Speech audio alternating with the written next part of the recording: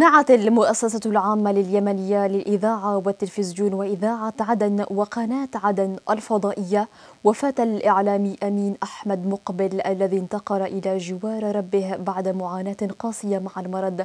وبعد عمر حافل بالعطاء عمل خلاله في إذاعة عدن وكان ذاكرتها ومكتبتها الوثائقية والموسيقية والدرامية. وبرحيله خسر الإعلام واحدا من أبرز الكوادر الذين بذلوا أنفسهم في خدمة القضايا الوطنية والمجتمعية المختلفة والإعلام بشكل خاص. وعبر بيان النعي وعبر بيان النعي عن خالص التعازي والمواساة لأسرة الفقيد وأصدقائه ومحبيه سائلا المولى عز وجل أن يتغمده بواسع رحمته وغفرانه وأن يسكنه فسيح جناته إنا لله وإنا إليه راجعون.